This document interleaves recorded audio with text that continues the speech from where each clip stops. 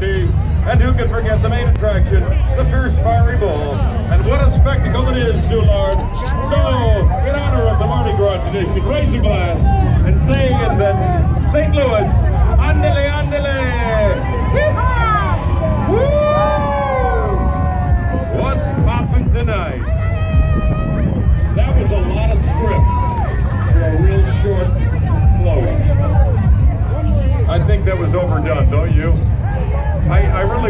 was overdone. I, think I heard count.